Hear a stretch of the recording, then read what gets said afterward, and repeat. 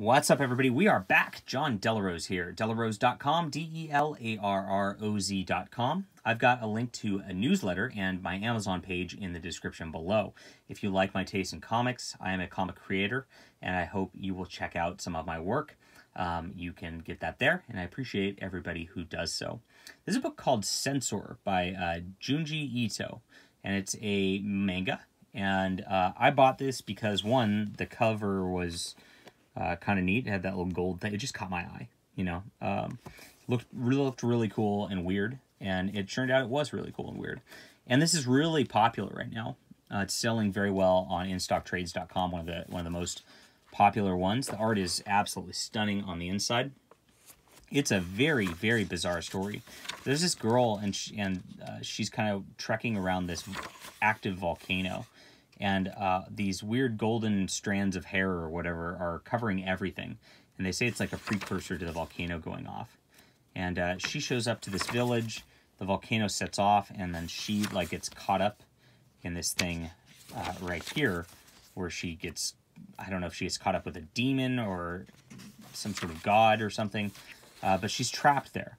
Uh, eventually, it switches over, and she she comes out of a cocoon, like she's very very bizarre. Eventually, this reporter comes out. I do love the art. It's not it's not exactly a normal manga style. It's like they kind of blended. You you know how uh, American artists tend to add manga style to what they do, and it looks like American manga style. This is kind of the opposite. It's, it looks like they've added American style a little bit to the manga, uh, and and created something a different look in this, which is very detailed and very nice. I love the art through this. Storytelling's really good. I, I love the like you, look at this panel here. It's just it's just quote strands of hair. You really get this sense of motion from it. Very neat stuff. The reporter finds her, comes after her, and there's like this adventure, like like she's getting strung up by this cult, um, and there's another guy who's like claiming to be like her nemesis, sort of uh, as a as a demon. They go back in time.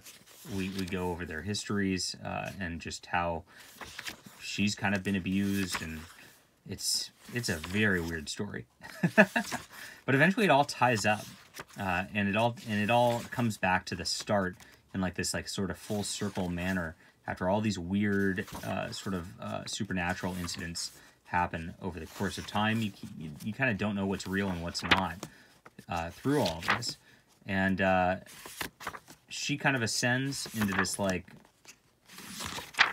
different being state over the course of it. It's just bizarre. And uh, eventually, it all kind of resolves itself.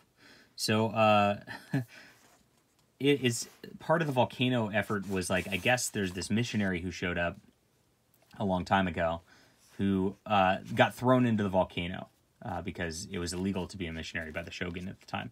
And they threw a bunch of these people into the volcano. Uh, and it's it's it all ties in together because they all kind of pass through time as this occurs.